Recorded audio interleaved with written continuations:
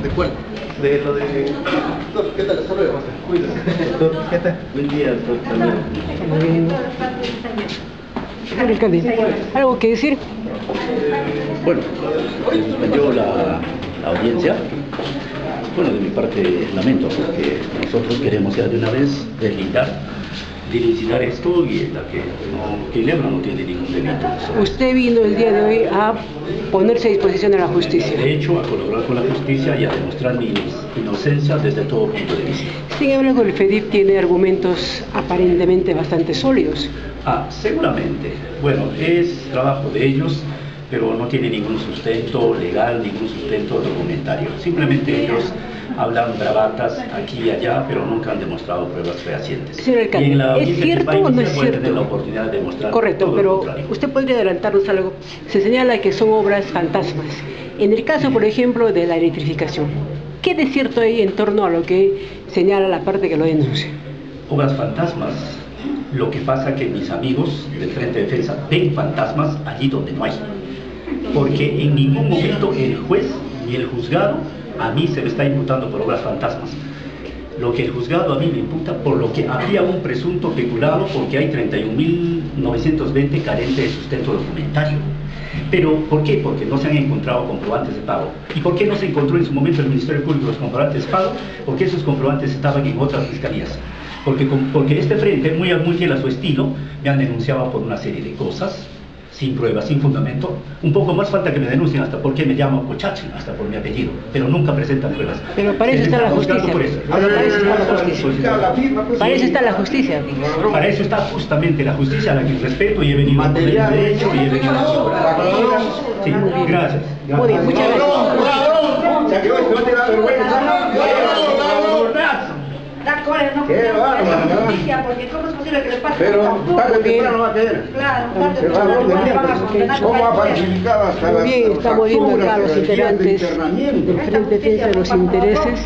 Hemos podido apreciar de que se ha suspendido, pero vamos a tratar de conversar cosa, con los algo- integrantes del FEDIP. este, Ellos han sido. Ingeniero, por favor, si se puede poner ahí. Usted ha podido escuchar lo que ha dicho el alcalde. Sí. ¿Algo que decir? No, lo- completamente, señora Gudi. eh, la verdad que aquí este, este alcalde está coludido con los señores eh, magistrados, realmente, porque el año pasado ya eh, la población ha esperado siete meses postergaron para que se instale esta audiencia. Lamentablemente, hoy día un juez preparado viene para postergar, esta audiencia hasta octubre, seis meses más. ¿Qué es esto? En Huaraz no hay mucha carga procesal, señorita Gudi. Lamentablemente nosotros como ciudadanos del lugar esperamos que se haga justicia, porque este alcalde nuevamente está administrando eh, al pueblo de Ticapampa, lamentablemente, ¿y qué esperamos de él? En realidad, sin plan de trabajo, lamentablemente en esta segunda, en este periodo que está ejerciendo, no tiene ni plan de trabajo este alcalde. Lamentablemente la población no vamos a esperar eso. Solo lo único, confiamos en la justicia porque tenemos que viajar hasta la ciudad de Lima probablemente y hoy mismo vamos a conversar con el señor presidente de la Corte Superior, lamentablemente sobre este hecho.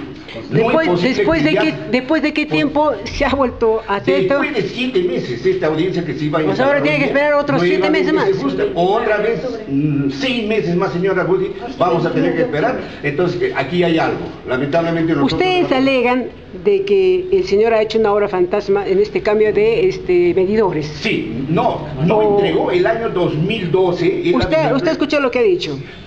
No, no, no he No, o sea, lo que ha dicho el alcalde ha dicho, pues que no es que es mentira. Ustedes ven en todo sitio fantasmas.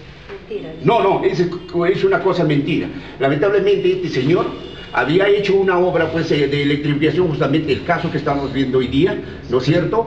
Pero esa obra no fue concluida, pero dentro de ese trabajo lamentablemente han falsificado... eh, O sea, todo eso está bien- los bien documentado. no llegaron el año 2002. Está bien documentado, bien documentado. Está bien documentado. ¿Sabe qué es lo que existe, señora Goody? Los medidores no se entregaron el año 2012 a la comunidad. Pero cuando nosotros recién denunciamos, recién el hombre compra el 2015 y entrega cuando ya no era alcalde. Entonces está afuera ya, pues. Prácticamente, pero, bien. pero señora Goody, hay documentos, por ejemplo, pecos, orden de pedido de compra, hay pecosa de internamiento, hay facturas de compra de esos medidores, cuando era no se había comprado ningún medidor. Cuando recién el alcalde ha sido denunciado, se vio, se vio denunciado, recién el año 2014 eh, compra, el año Correcto. 2015 compra Muy los medidores. Se ha suspendido, ingeniero, se ha suspendido todo. Ustedes van a levantar su voz de protesta y van a exigir de que Sí. esto sea más, mucho más breve. Lógico, de todas maneras, Usted, señora. usted siente que le están escuchando acá, porque no puede ser pues de siete meses a siete Lógico, meses. señora no, ¿Qué van a decidir? Lamentablemente la población acá ¿Irán a tenemos Lima? que reclamar, tenemos que viajar a la ciudad de Lima.